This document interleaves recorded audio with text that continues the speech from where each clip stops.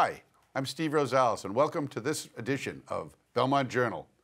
Today is uh, Wednesday, May 22, 2024. And with me today is another episode of Chat with the Chair with our current chairman of the Select Board, Roy Epstein. Nice, to see you, Roy. Good to see you. Always a pleasure. You're a courageous man to come and sit in the hot seat, but Well, I think I've survived it twice before. so far so good. So far so good. So since our last one and now, you have a new, sort of a new claim to fame. You know, we had the highly successful Dancing with the Belmont Stars recently. Yes. You looked so dashing in your tux. Well, I'll y- tell you. You know, that is the only time in my life I've worn a tuxedo, Really? but it was great. Well, it, it, look- it's something that you, it's a good look for you. Very distinguished. It made you look so flowing and so graceful on the was- dance floor. That was my partner. I'll take it. Well, that's okay. Well, I appreciate the candor, but you looked great. Was it fun to do? It looked Yes. like a lot of work to prep for that. Uh, you know, I practiced for about three months to do a minute and a half routine, but uh, hopefully, hopefully the next time it goes faster. But it, was fun. It's a, it's a whole new thing. For me, never done it before. Never too old to try something new, though. What, what made you do it? I mean, if you'd never done this before, you had no background in any type of dancing other than maybe at a wedding after a few cocktails or whatever. But Per- personal challenge. really, Yeah. well, you met it. You met it with uh, with courage, and you did very well. Quite frankly, you got great applause. You didn't fall down. You didn't drop your partner. Yes, didn't step on her, no. But now we're even working on something else for next year. So, Oh, you bet you didn't give it up. You've continued. yes, yeah, yes, because uh, it's a, it's really interesting. People should try it. So it's something. If you've never done it before, you, you wouldn't believe what goes into it. Well, it, it- the finished product was terrific, and we had a whole bunch. We had uh, jo- the producer of this show, Joanna Jubilis. She looked splendid in her red dress, the lady in red. Yes. We had some teachers, what a wide variety of people. So it, it, it was a fun event, and I hope they do it again. I think the Women's Club raised some dough. Yeah, and it was a packed house. Everybody said it was one of the most enjoyable evenings they ever had. It really was. Yeah. So, well, keep that up. We'll look forward to, uh, you know, maybe we'll see you on, uh, what's that, TikTok. Maybe you can do some little, little TikTok thing. Yeah, but it won't be a tuxedo. I might be dressed as a scarecrow next time. Oh, that's so well, that'll work. it. Whatever the theme, whatever the theme. Well, that's good. Okay, so uh, about a month ago we had the election. You wanted to chat about all your, your view of the election, election recap. What, Yeah. What are, you, what are your thoughts on that? And then we'll move into some meatier topics. Well, I, I think it was a good election. Turnout was high. Uh, great participation. Um, I was very relieved the override passed. If it hadn't passed, I think the town would be in serious trouble. Uh, I was personally interested in the assessor question. I think that that really completes uh, the restructuring of the financial side of town government. Uh, I think we'll be better off for it. Uh, select board race, Matt, I think is a quick study. Uh, board is working well, so I think uh, it all turned out quite well. Well, I know that the the assessor situation, having done the the nightly, you know, reporting the, uh, on on at Belmont Media with Yeah. Joanna and Anne Marie Mahoney, we were watching the results come in, and it was pretty close. I think we left it, and it was a uh, it was a uh, keep them elected. Yes, by what I think eleven. I- yeah, I was- and then they did a recount. I was confused over the evening because finally it- on election night it ended up uh, winning by 11. Then there was a recount, and the final is at one by four. Four. So there you go. Every vote counts. Every vote counts. And I think what people should also appreciate, given the times we live in, is the, the care with which uh, Ellen Cushman and the team did the recount was very impressive. The level of security uh, to make sure every ballot is counted, record keeping, double checking everything was, it's a model for how election, an election should be run. Well, I know that they do a lot of work on regular elections, and they, when you do the recounts, you know, you have to account for every piece of paper and every ballot, every absentee one, every every mail-in one, every dropped-off one, and every provisional one. I, I don't know when the last time there was a recount for a townwide office, but it also triggered all sorts of things I hadn't actually seen in action before, like the uh, registrars of voters actually were sitting at the recount and had to judge uh, potentially disputed ballots. And then they would turn to referees and say, do you accept it? Do you accept it? And uh, so it's, it's a very uh, legitimate recount and with great care. It was good to see. Well, there you go. At least we didn't have uh, what was it, Bush v. Gore, I guess, with dangling chads. We didn't have the punch punch out things with uh, with dangling chads and Mark chads and No. no chad talk. No Chad. But I heard dots instead of filling the oval.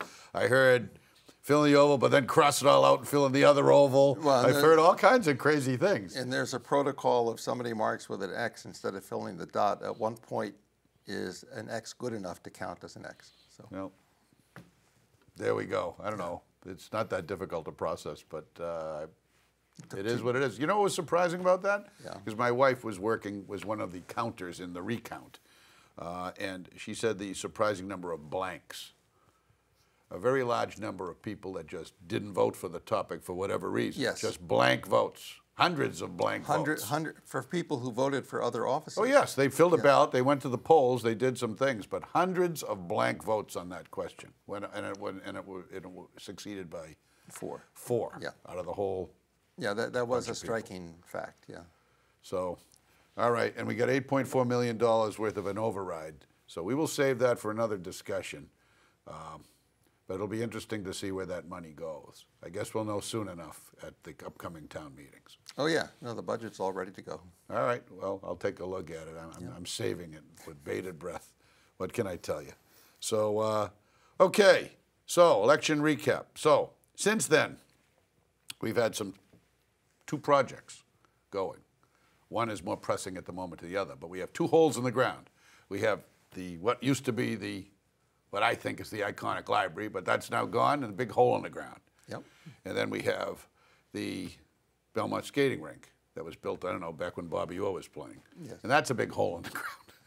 We have some designs, but the rink apparently, uh, some of the estimates have come in higher than what was anticipated. So there seems to be a shortfall in some aspect or in estimates. So here's the question What's up with the rink? Well, estimates are revised. You know, anybody who's in, been involved with a building project knows that the greatest uncertainty is when you're still doing site work. Once you have a foundation and you're building a building, a lot of uh, a lot of the project is now really cemented down, and there's much less uncertainty. But when you're still excavating and uncovering things that are underground, sometimes you get nasty surprises, and some of that was going on here. But I, I think we're past all that now, though. Well, yeah, they've identified, you know, apparently there was some things that, that nobody really knew were there. It was built in, I don't know, 68, 69, 70, somewhere around in that Yeah. time frame. I don't think there were any schematics or any really as-built still in existence at that point in time. So uh, from that, going back that far. So when you take the building down, you discover certain things, like we did with the police department. Well, and then certain things changed. You know, that there's a very stringent stormwater regulation now, and actually provision for several hundred thousand dollars worth of stormwater work was in the original design, but then it ended up costing even more. Uh, because the water flows into Clay Pit Pond that actually has to be trapped and filtered, and it turns out to be a whole type of cost that didn't exist a couple of years ago. So th- th- those regulations, were those, those state mandate regulations, federal mandate, or were those town mandated? Something we that got passed somewhere along the way? It's not meeting? town, it, when they, you know, it's, it- they're called EPA, but whether it's state EPA or federal EPA, I'm not sure.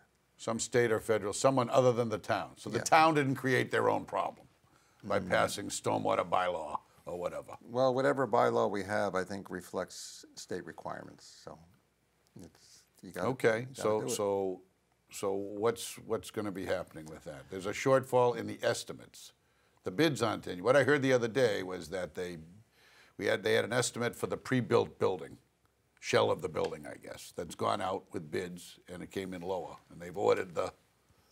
Uh, the- building is the- not, The, the shell or whatever. no, not, not yet. I think we're waiting for town meeting before any um, contracts are entered into for actual purchasing things. Okay. But, um, you know, you can't really proceed with a project until you're sure you have the money to pay for it. So what's happened up to now is a series of designs and then cost estimates to figure out how much that design will cost.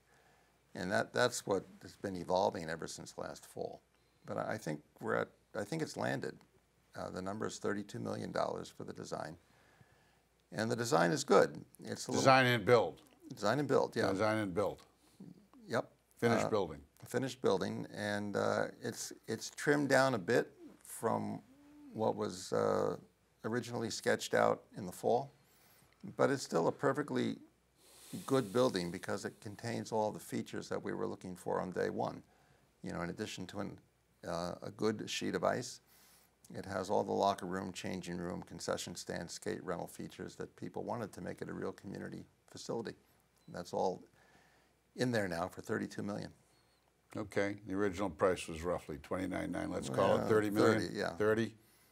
And uh, I think we found a way to close the gap, uh, including just yesterday, we got notification from Senator Will Brownsberger that the state is willing to contribute $750,000. Really? Yeah.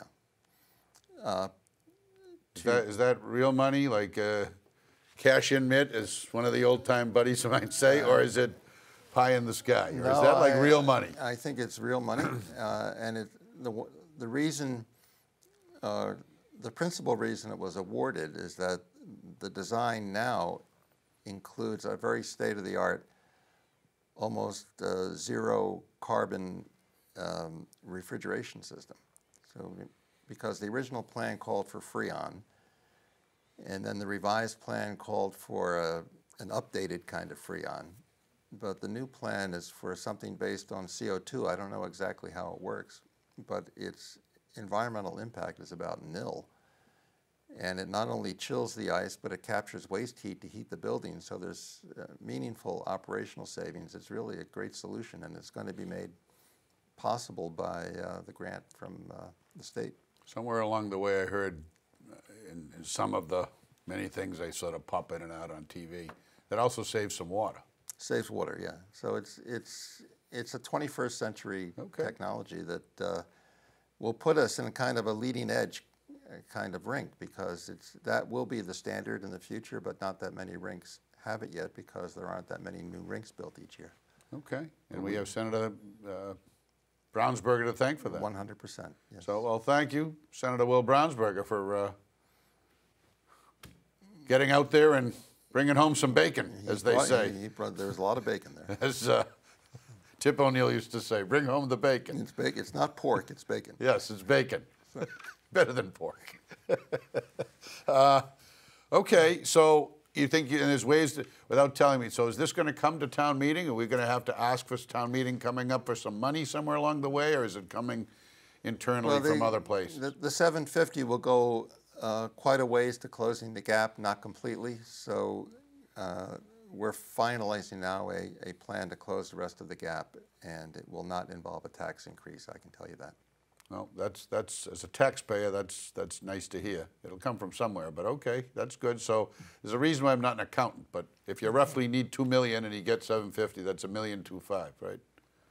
Yeah, That's a like far cry from four million that I think they were facing. So kudos to the committee for finding some savings along there somewhere. Well, Maybe the bids will come in lower than what the estimates are. I, there's reason to believe the bids will come in lower. You know, the, the, uh, there is a good team on this project, and they're working very hard uh, since the winter time to get the cost down, which is a balancing act of uh, altering the design, working on the costs, working on the margins and all of that. But I think it's all coming together between uh, the architect, the builder, and the OPM and the committee. I, I think it'll work. Well, I can't speak for the builder, but you and I worked on the police station DPW project together with the architect, Galante, Ted Galante, and with the, uh, I guess, the owner's rep or Yeah. construction manager for us. Yeah. CHA, Tom Gatzunis, who was a long time He was the town- officer of He was community development or engineer, or whatever he was for many years here Yeah. in town.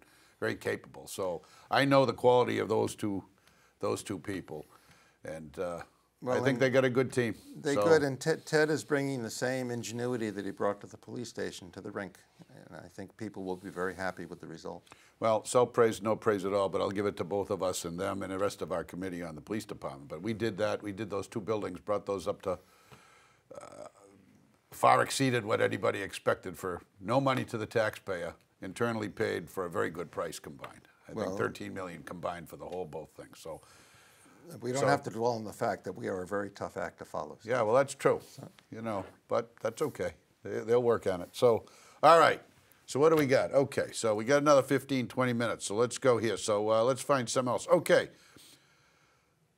It's it's kind of complicated. McLean TMMA, which is what the uh, Traffic Monitoring and Mitigation Agreement. Yes. Apparently, in what 1999, the town in McLean did something when they developed McLean to deal with traffic that needs to be, needs to be changed. Well, So yes. what's up with that? How, what's going on? So back in 1999, people uh, might remember that there was a very complicated transaction where McLean conveyed a lot of land to the town, and uh, there was an expectation at that time of all sorts of development at McLean, including a, a kind of a nurse, an assisted living facility and residential development, um, and uh, lands were exchanged all over the place, including including uh, what's now in the McLean barn and all what's town land. It all was a big, big agreement.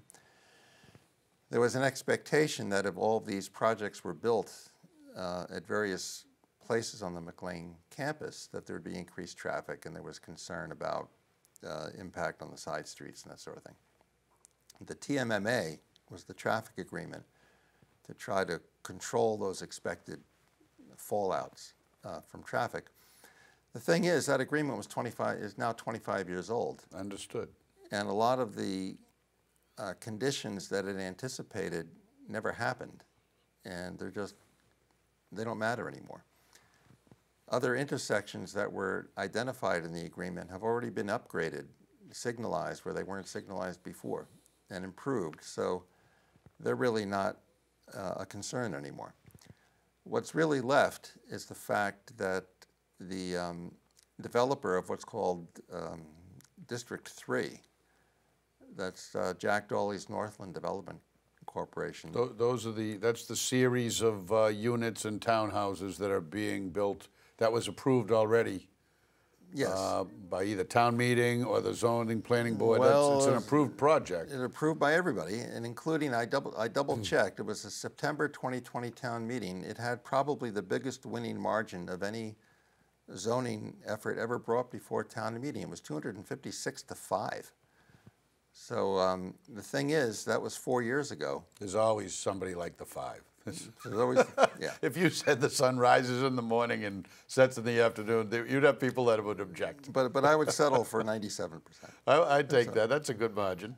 Uh, but what happened is uh, the it turns out the original TMMA had some pretty onerous conditions that actually have made it impossible for the developer to obtain financing. So even though he's ready to break ground this year, if the old TMMA uh, remained, probably nothing would happen.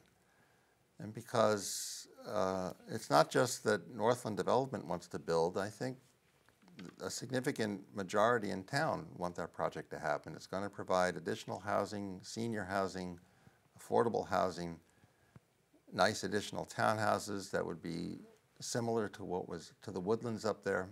It'll be a very good development And some tax money. and some tax money. Uh, But to do it, the original agreement needed to be changed to remove what were really uh, obsolete financial penalties for things that just made it im- impossible for Dawley to get his financing.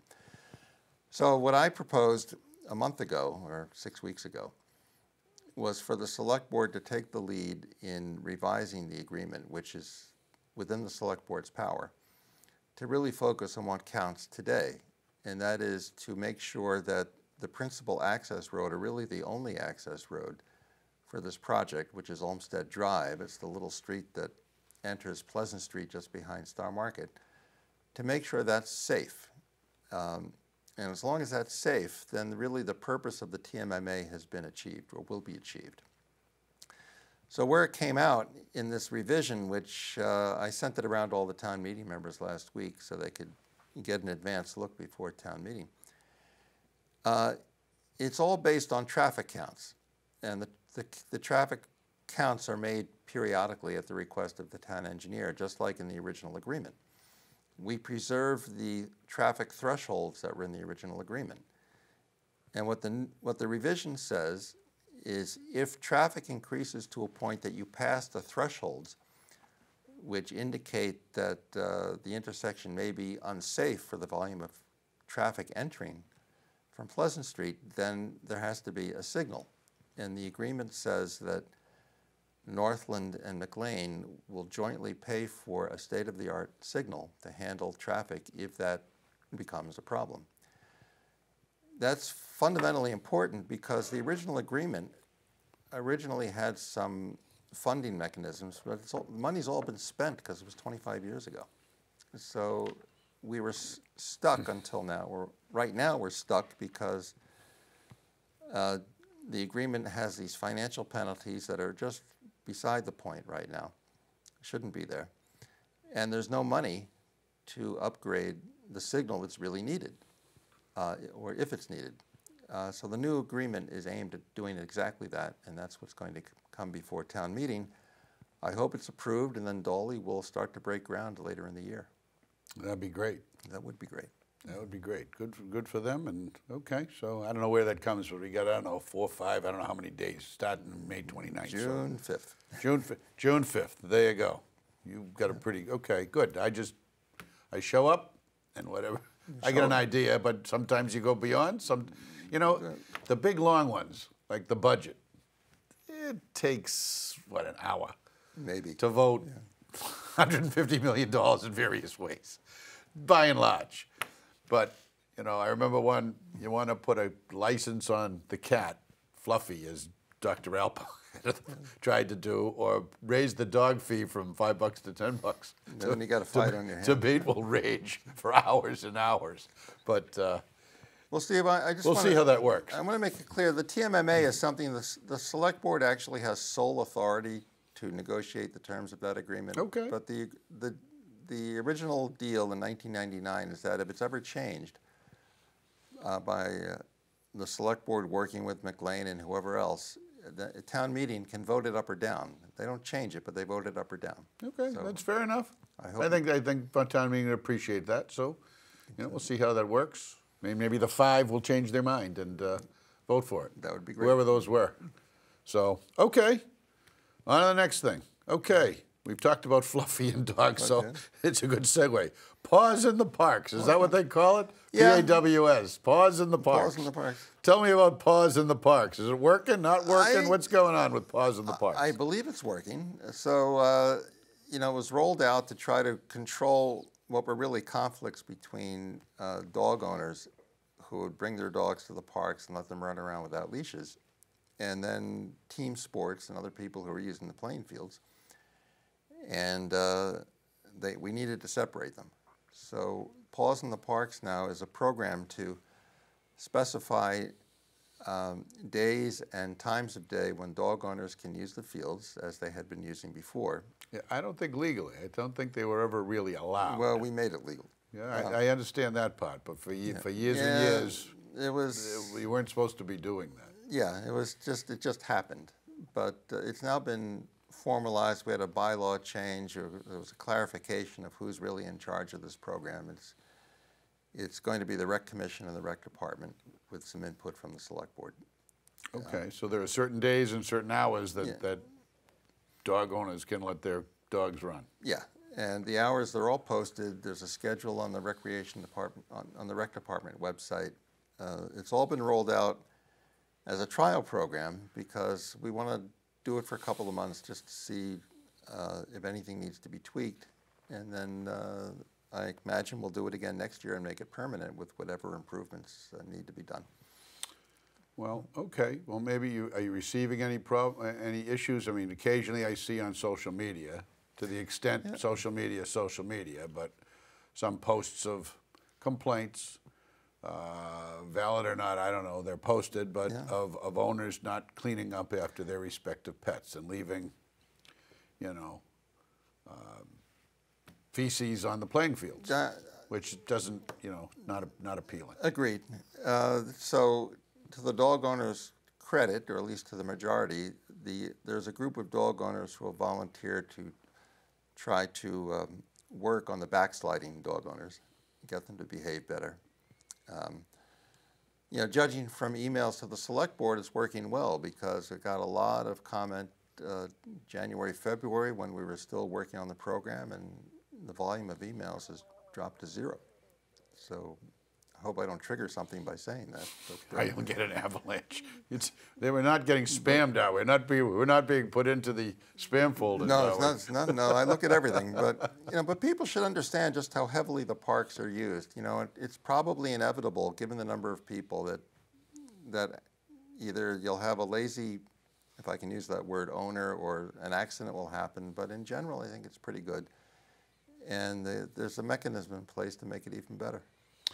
Well, before we get into the closing topic here, if you could do something, if you could figure out how to deal with the geese, The geese. that, that would be something. You know, back when I was like, back in the golden age of politics, as my late mother would say, in the mid 90s, we had the Goosebuster program, which where we were able to, dogs, owners could take their dogs and, you know, get a permit or whatever and have them run on then the high school because the geese were fouling the, all the fields. yes. And uh, that, that worked. We, I think we called it the Goosebusters program. But now they have actually companies that'll bring their dogs down. And from what I hear, anecdotally, the geese don't come back after a few run ins with those programs. So, food to think about. Well, the thing that I understand, actually, you're better off when the dogs are specially trained, Steve. So that Yeah, well, that's what I'm saying. It's Yeah. a company that brings, you know, goosebumps to dogs, for, for Yeah, lack of a so- better term, but trained dogs to. Yeah, with to special, with, yeah, with specialist dogs, it might, Yeah, uh, might well, work. there, there you go. All right, anyway, so we got, uh, I don't know, about four minutes, three and a half, four minutes left. So, you've been chair for a year, uh, and I think your, your year with the change goes to at the end of June, End of June, yeah. at which time there'll be a revote and there'll be a, a, probably an installation of a, of a new chair. Well, I think we voted already. It's automatic that it, it rotates to Elizabeth Dion. Okay. She'll be, yep, July 1. So, all right, what are your thoughts on the past year? Give me some reflections from the chair. I was never the chair, which is probably a good thing. Well, now you can't get away from being chair. You're, Yeah, I know. I, you know, I think the biggest problem I have, Steve, it may sound um, sappy to say it, but I, I like it too much. It's, you know, to tell you what my day was like this past Monday. We started with meetings at 8 in the morning to discuss everything from the rink to the budget to MBTA communities and every other thing. Uh, we had a select board meeting at seven in the evening and talked about the rink and TMMA. Uh, we ended up with an executive session that didn't start until close to 11. I got home at 11:30 at night. Um, and I think that's actually what it, people don't realize that's what it actually takes to make local government work. Uh, but I was happy to do it, and I am, I am happy to do it. So, do you have any? Uh, what would you think is your biggest, at least during your tenure as chair, your, your what accomplishment are you most proud of, or what of what of what are you most proud? It Well- that way. Uh, I think the biggest things are the budget process. I think it was much better this year. I was proud uh, proud to play a part of that. I think the civil service vote at town meeting was very important. I played a leading role there. I think the assessor was important. I'm helping the rink along the, with the financing piece of it at least, not not the design, but the financing. And uh, you know, I think it it'll leave uh, things behind that should actually make a difference for a long time. So Okay. I'm very gratified to work with so many people. You know, we have a fantastic town staff that uh, they're just a pleasure to work with. Okay. Any any uh, well, pri- any, anything that regrets isn't the right word, but is there anything that that uh, uh, well, I, don't, I I really don't know how to phrase the question. Anything you're not happy about, or that wish you wish you could do, or wish got done better. You know, Steve, I'm, I'm sure there's something, but I've suppressed the memory. You know, that happens a lot. That's, that's a good habit to have. So, uh, okay. Well, all right. Well, we got less than a minute. So, uh, any final comments? No, but I, I hope you uh, uh, invite Elizabeth Dion on early, and uh, I, I think we have a very capable board, and I, I look forward to rotating. Uh, I'll just be the member uh, starting July 1, but uh, I look forward to finishing my second full term, which is um, it's been really a terrific experience. Well, I've been. Uh, thanks for coming on the show. You've been a delight. I've pushed back a little bit, and but that's okay. You've handled it with uh, with grace and uh, dignity, even though at times we Well, as I often say, that's why they make chocolate and vanilla. Yeah, well, we So, tried. and on that note, I want to thank you, soon to be member again, Select Board. Well, there you have it. Our last chat with the chair, uh, with Roy Epstein, chair of the Select Board. I'm Steve Rosales. Till next time, take care.